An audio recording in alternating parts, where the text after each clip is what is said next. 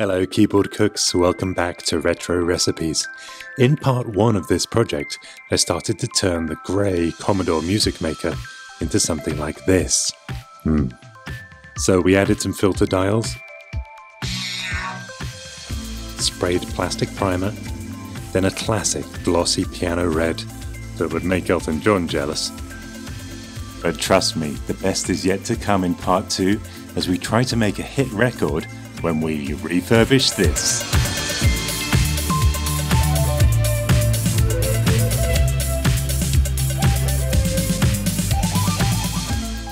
Now to start off the finishing touches, I used a fine-tipped white Sharpie paint pen and just filled in the top raised section of the logo. Hmm, not too shabby. So now I need to make a hole here for the grommet.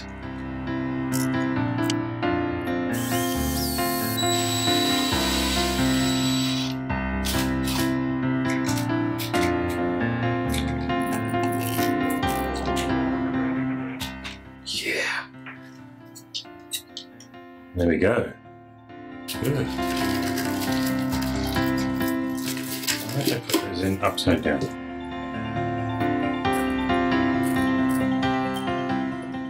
Great, so that won't come out.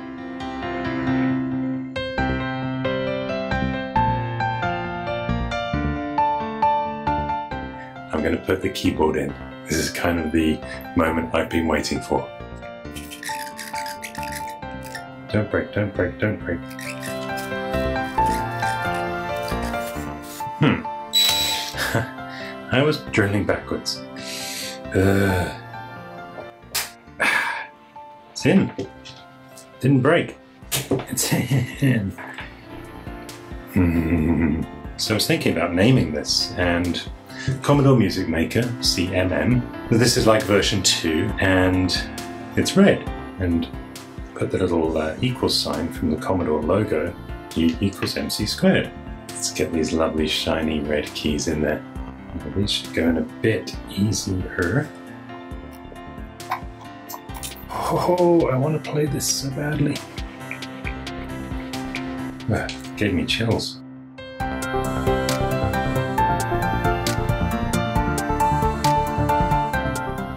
This is everything that I wanted it to be, and soon it will be more.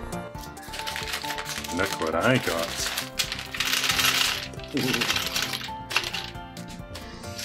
Ah, like a kid in a candy shop store, depending if you're American. Which to go with? Well, surprise.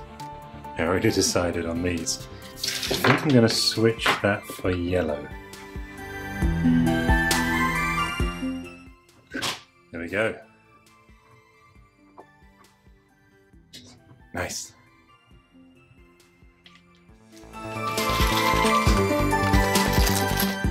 So one of the guides that I followed told me to use 250k potentiometers. And I did that, soldered them in, glued them in, and of course, they're wrong. they would only turn up about a quarter or a third of the way. So I switched them to 500k logarithmic potentiometers, and these now give me full control of the filters looks like a normal roll of tape. Look how thin it is. This is pinstriping tape, and hopefully it's going to help me put a little embellishment. Hmm. Hey, and you know, if it goes wrong, we can just peel it off. Clean my hands so that we don't leave any residue on the sticky. The end is just as hard to find as any other uh, roll of tape. I may be here for some time.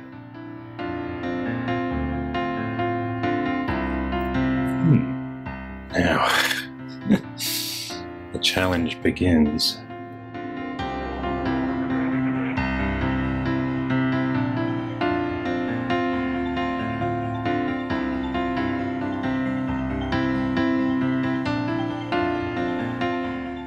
Interesting. What do you think? Okie dokie. An exciting moment. We've got some LEDs arrived. Is an LED really uh, electrostatic sensitive? I don't think it is. Ah, yeah, this is what we want. And it has a resistor in line. Well, well, well, well, well.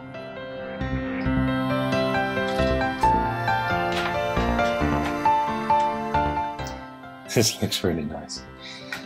Plug in our red joystick cable, so that's going to be going like that. And now have power.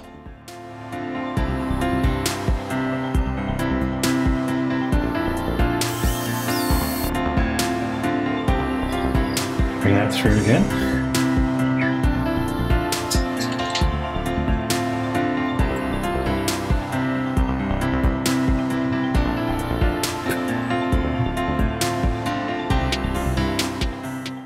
what a suitably retro style LED that is.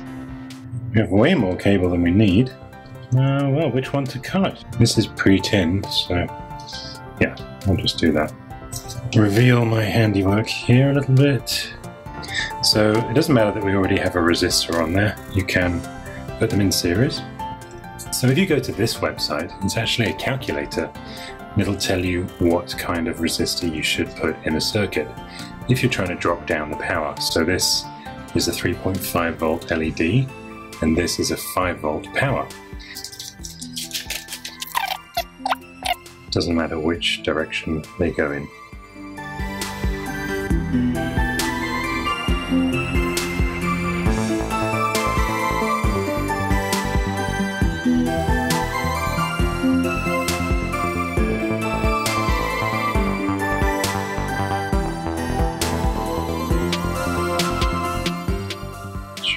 Shrink.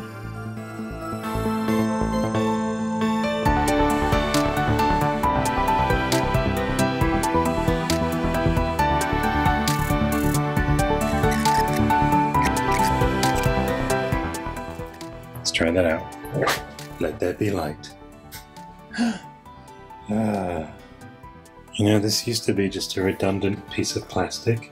It's now a powered, tentiometered damn sexy looking piece of plastic.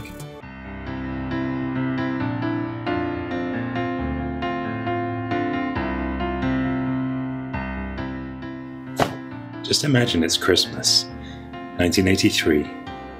You unwrap your gift and take the lid off this. Mummy, what have you bought me? Oh, well, it's what you wanted. It's the CMM2 Red. Oh, yes, Mummy, it is, it is. It's just what I always wanted. I just wish it came on disc.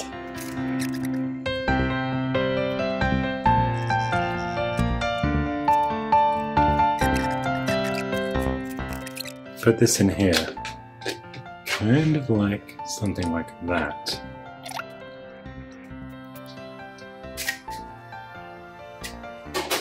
And I'll put a link below this video to everything that I've used to make this, so you have a little shopping list.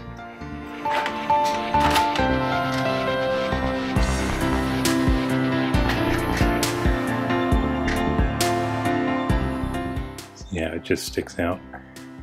Cut a little curved line into this. And to help us with our template, I'm going to use part of a Yeti beer cooler. This has a rubber thing on the top, keeps your beer bottle or can really cool.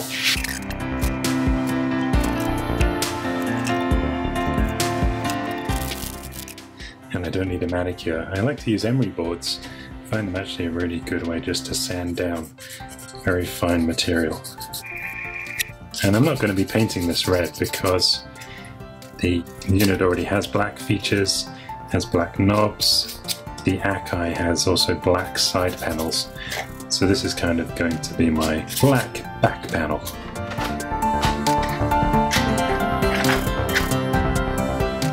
Oh, that's good. That's really solid.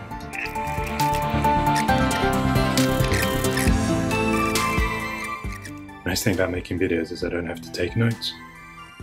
25. We could screw through and then we'd have nice little silver rivets I don't know why Commodore redesigned their whole thing for the C64C. All I needed was this.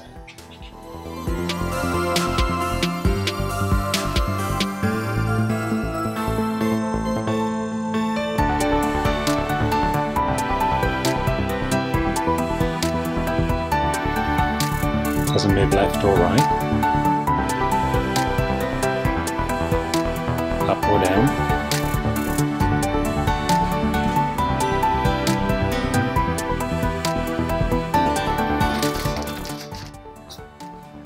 That's it, the CMM2 Red.